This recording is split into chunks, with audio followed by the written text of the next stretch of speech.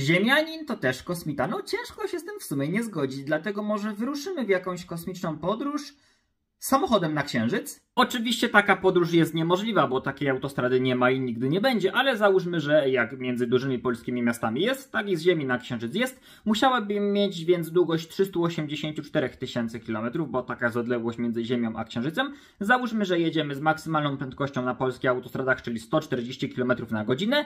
Nasz samochód pali 7 litrów paliwa na 100 przejechanych kilometrów i ma bak o pojemności 55 litrów. Czyli spalimy około 26 880 litrów paliwa, będziemy musieli zatankować 488 razy, a paliwo jest po 6 zł, czyli wydamy 161 tysięcy złotych. Jeśli chodzi o czas podróży, to jeżeli będziemy podróżować stale i ciągle z ustaloną już prędkością 140 km na godzinę, na Księżyc Ziemi dotrzemy po 114 dniach. Warto również pamiętać, że odległość między Ziemią a Księżycem jest tak duża, że gdyby wziąć wszystkie planety, to udałoby się je ustawić pomiędzy Ziemią a Księżycem